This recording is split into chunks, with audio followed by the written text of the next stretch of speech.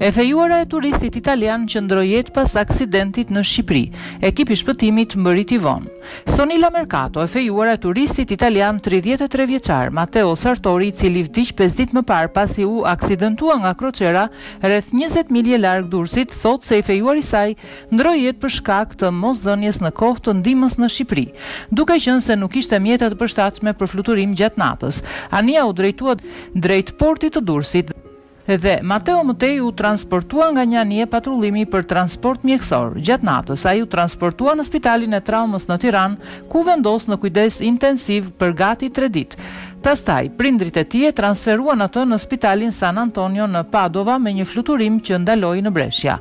Sartori mbërriti në Itali në gjendje të rëndë për jetën. Për mediat italiane ajo është shprehur, Në Shqipëri nuk kanë pajisje për t'u marrë me këtë lloj emergjence. Ata nuk arritën të vinin dhe të merrnin Mateon me një helikopter dhe u humb shumë kohë. Ne e lamë të vetëm në det. Ai ishte një person i mrekullueshëm, i pëlqyer dhe i vlerësuar.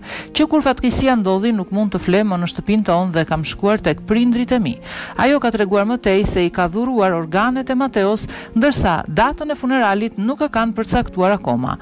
Por si ndodhi ngjarja? Dy të dashuruarit ishin duke ngrënë darkën e fundit në udhëtimin e tyre të planifikuar me kroçer më dhjetë shtator të vitit dy mijë e nëntëmbëdhjetë, kur Mateo, duke ngrënë karkaleca, preu lehtë gishtin.